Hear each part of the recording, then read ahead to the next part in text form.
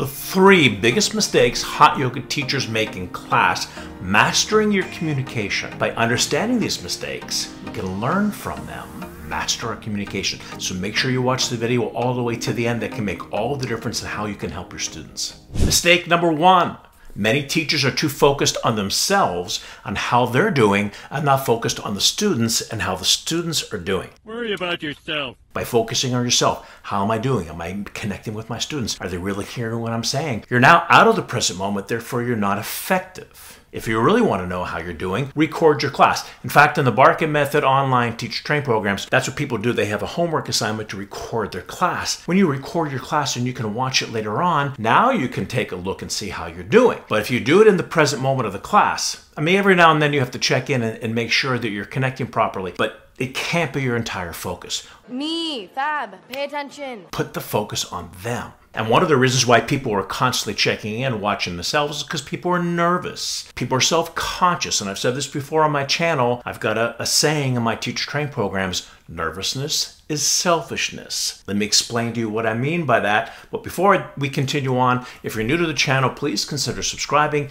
hit the notification bell. You want to learn all about hot yoga, tutorials and flows and factoids, hit the subscribe button and the like button right now. So what do I mean by that? When I said before, you're focusing on yourself, not on the students, therefore that's selfishness. Get the focus off of you onto your students. Nervousness is selfishness. Now it's okay to be nervous if you channel that nervousness into the energy of bringing energy into the classroom, not allowing the nervousness to stifle your expression. Elvis Presley would get nervous before every single performance. Some of you know that I'm a part-time singer. When I have a big show, I get nervous before my performance, but I use that nervousness channel it into the performance to boost my energy. But if you allow the nervousness to take over, it'll stifle your expression. Mistake number two, and this is for a lot of the new students, definitely in the hot yoga world, definitely in the Bikram world, but not just the hot yoga world, and the Iyengar world too, especially with new teachers, they put the focus and the attention or their intention on disciplining their students, not putting the attention on getting the students to do the best yoga that they can. Many times the new teachers, the only time they break their script, the only time that they come out of their repeated pattern of speech, which is going to be by the way, mistake number three, the only time they break out of the dialogue is when someone's breaking the rules. Now, I'm all for everyone not breaking rules and everyone doing the same posture at the same time so it doesn't distract people. That's important, but that's not the only time you want to break out of the rhythm. And that should not be your main and focus on the class. Many times people have this drill sergeant type of energy in their classroom. I am Gunnery Sergeant Hartman, your senior drill instructor. And that's where their main focus is, not in getting the students to do the best possible yoga they can, changing your intention.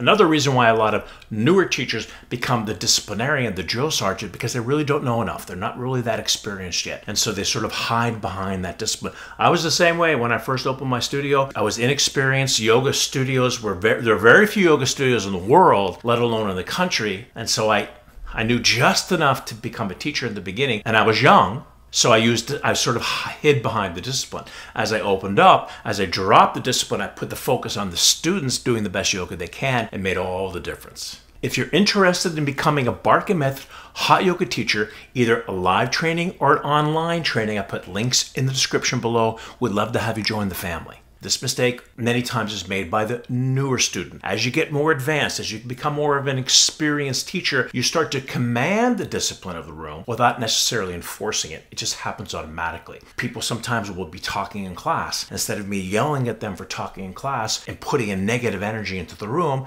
let's say we're, we're, we're wiping our hands off and getting ready for standing at to knee and I hear people talking to each other. I'll make the joke. Feel free to talk amongst yourselves. People laugh I'm making fun, but they get it and they stop talking. But now I've created a positive energy in the room, not a negative energy in the room, and still enforce the rule. And as you get more experience, you walk into that yoga room and you just command their attention. You command their respect. You don't have to be enforcing the discipline. It just happened this morning. We were doing class, and before class started, there was all regulars. They knew each other and they were chatty, chatty, chatty, chatty. I come in, they're still chatty, chatty, chatty, but it's now it's time to start. And I say, okay, guys, let's get going. Feet together, toes and heels touching, hands at your heart center. Let's set an intention. All of a sudden, I had their attention. There was no more chatting. We're down to business. I don't have to be sergeant at arms. I command it with my presence. So now as you become more experienced, you're going to command it with your presence. To, you're going to come in and you're going to take over because they want you to come in and take over. They want you to come in with confidence and take over that class and lead them through the process. If you're focusing on yourself, not on them, mistake number one, you're putting all the attention on discipline. They're going to be fearing you opposed to really being affected by your teaching. Mistake number three, and as promised, the most important, definitely the biggest mistake, and one thing you, that yoga teachers need to address and hopefully correct. And the mistake is, drumroll, they talk in a repeated pattern of speech. They sound the same way from the first pose almost to the last pose in the same repeated pattern. And at one point, the students are just going to tune them out in a very, very short period of time if you're just talking in a repeated pattern of speech. Elevator music. Especially if you're, let's say, in the Bikram world and you know what posture is next. It's almost like it doesn't even matter what they're saying. You're in your own world. They're not correcting, they're not encouraging, they're just repeating a dialogue, they're repeating a script. Therefore, you're not getting the student's ear. So, how can we change that? We need to change that by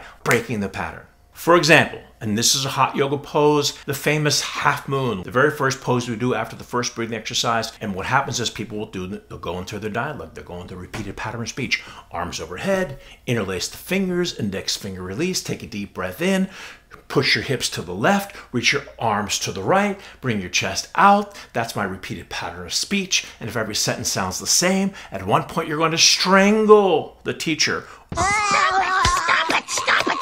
Or you're just going to tune them out. How we have to break the pattern is by finding something that's important in the pose. I call it the gem. Find the gem. It doesn't have to be the most important thing in the pose. And explain that or express that point in a different tone. So here we are.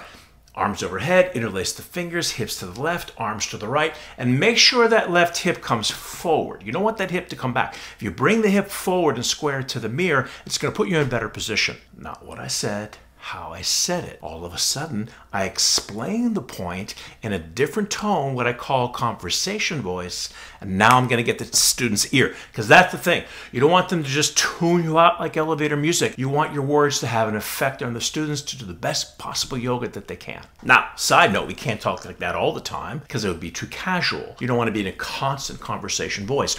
So I call the teacher voice and the conversation voice. When do we use the teacher voice? Arms overhead, interlaced fingers for the transitions. That's the most important time. You need to have a teacher voice and a cadence to get through a 75, 90 minute class. But if we're always in a conversation voice, it's too casual, especially in the intense energy that we want to create in hot yoga in the Barkan world and the Bikram world, or if you're in a vinyasa class, using the teacher voice for transitions, but then breaking the pattern. Now that's easier said than done, and that's one of the things that I do in my teacher train programs, live and online. By the way, if you're interested in becoming a Barkan Method Hot Yoga teacher, I put links in the description below. I'm coaching the teachers to first establish their teacher voice, establish their own rhythm and their own unique, authentic sound. Then I start to coach them on the authentic voice. So how do I do that? Let's say they just taught a posture. Let's let's use half moon pose, for example, and they were in the teacher voice the whole time.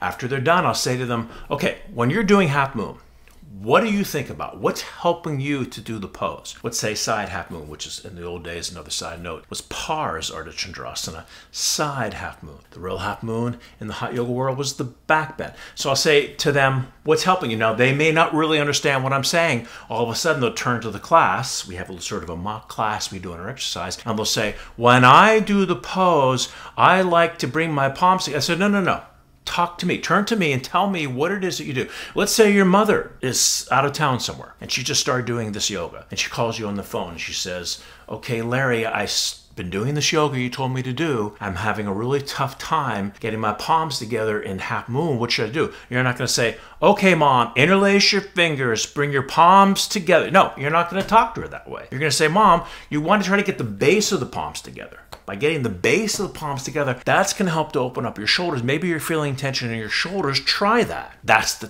tone. That's the conversation tone. So now I have them turn to the class and say it, and they go right back into the teacher's voice. It's like this magic curtain. And I'll tell you why they do that and one way we can break it. I believe that one of the reasons why people don't want to break out of their teacher voice is because it's vulnerable to be authentic in class. It's vulnerable to bring your own true conversation tone to the classroom because there could be a rejection. That's going to happen, but you have to take the risk to do that. Yes, maybe somebody's not going to like your personality and they're not going to want your to do your class. But if you're authentic, if you're putting yourself out there, you're going to be so much more effective. I should say to people, I could line up a thousand people down the street that don't like my class. They don't like you. I don't like you. Hopefully, I can line up triple or, or 10 times that on the other side of the street. I love you, man. So we have to allow ourselves to take the risk to be vulnerable enough to allow our authentic voice come through. And that's how we're going to not just be a good teacher, but be a great teacher. That's how we're really going to get the student's ear, but more importantly, the student's heart and make that teacher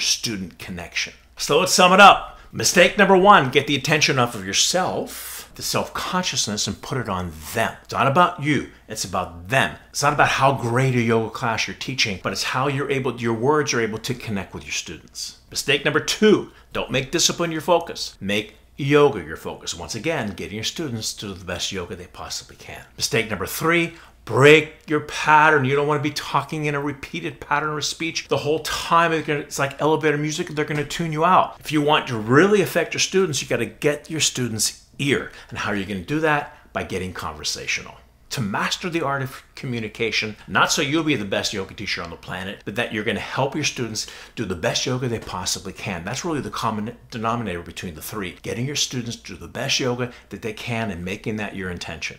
So that's our episode for today. Thank you so much for watching. If you're new to the channel, please consider subscribing, hit the notification bell. Any questions, comments, put them down below. I'm happy to get back to you. And I thank you for supporting the channel, and I'll see you the next video. Bye, everyone.